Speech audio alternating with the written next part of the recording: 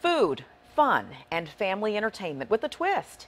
Just a short time ago, a fleet of food trucks rolled up to Chesapeake Square Mall.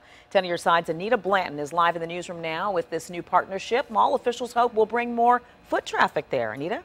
Yeah, Nicole, we have seen and reported on the large crowds that food trucks have been bringing to different parts of Hampton Roads. Most recently, their big move to the ocean front. And officials at Chesapeake Square Mall have been watching too. Today, they're hoping that their kickoff of a series of street shopping nights will have similar success. It's never long after they arrive that the savory aromas begin to waft from food trucks. Word quickly spreads about who's parked nearby, and eager crowds begin to form. It's a formula Chesapeake Square Mall officials welcome with high hopes. Right here, we will have six of the 20 rotating trucks from Eat the Street 757. And now through October, on the third Friday of the month, you can swing by and stay a while for their street shopping nights, created with the whole family in mind. The idea is to bring out the families, the friends, the, um, the uh, uh, neighborhoods, have everybody come together. It's like a great big tailgating.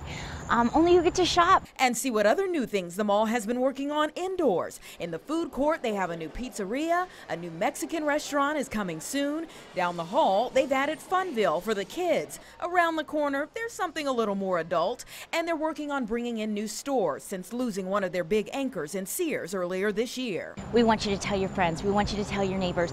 Guess what's going on at Chesapeake Square? Mall officials say sites with community input like this Western Branch Growing Forward Facebook page have helped them get a good idea of what you want. They want something where they can bring their families and enjoy being together outside.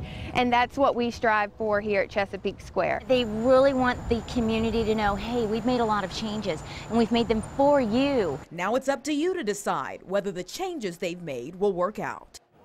In addition to the food trucks, there's free inflatables, face painting, and a live performance by local recording artist Tyler Lane. It's going on until 8 o'clock tonight, so you still have a little bit more time. And if you can't make it today, I'm putting information about when you can catch it again next month online at wavy.com. Anita Blanton, 10 on your side.